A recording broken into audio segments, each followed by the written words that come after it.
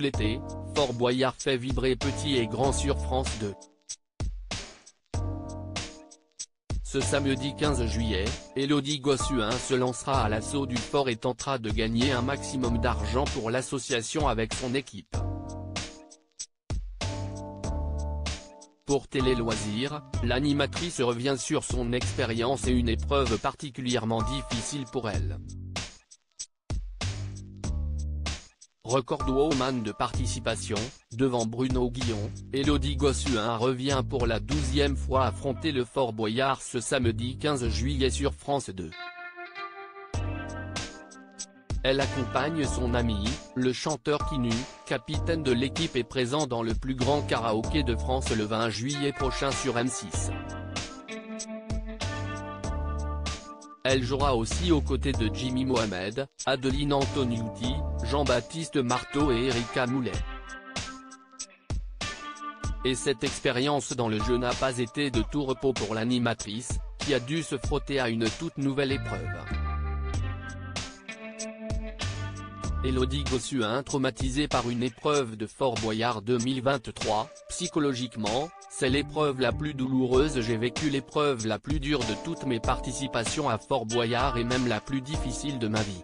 Cette année, j'ai eu droit de tester une nouvelle épreuve dont je ne savais rien, les catacombes, nous explique l'animatrice au sujet de la séquence que Télé Loisirs vous propose de découvrir en exclusivité. Psychologiquement, c'est l'épreuve la plus douloureuse parce que ça mêle plein de choses inconscientes. Ça a duré une éternité, et ça a été terrible à vivre. En même temps, avec le recul, c'est très thérapeutique, nous affirme la mère de famille.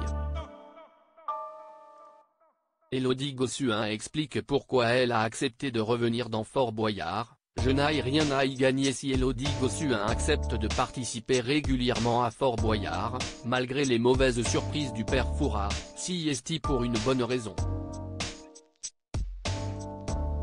Ma véritable motivation c'est vraiment de pouvoir jouer en faveur des associations. L'année dernière, j'y suis allé parce qu'on m'a proposé de constituer mon équipe et d'être capitaine. C'était pour l'UNICEF, dont elle est l'ambassadrice, note de la rédaction. Je repartirai toujours pour l'UNICEF, commence-t-elle par expliquer avant de nous dire pourquoi l'édition 2023 a un sens particulier pour elle. J'ai pleuré quand il mène à parler, le beau geste d'Elodie Gossuin pour Kinu cette année, j'ai de nouveau accepté parce que c'était pour Kinevey que j'aime profondément. Il veut remporter des fonds pour soutenir l'association Carl. Il m'a parlé du drame de cette famille. Ça lui tenait à cœur et je ne pouvais pas refuser. Carl est une association qui lutte contre les violences sexuelles et physiques envers les enfants. J'ai pleuré quand il m'en a parlé, déclare l'ancienne Miss France.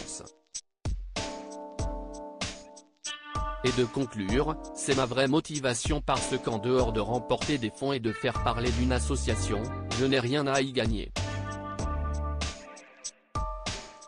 Je relève des challenges dans la vie à longueur d'année avec M6 et je m'éclate suffisamment.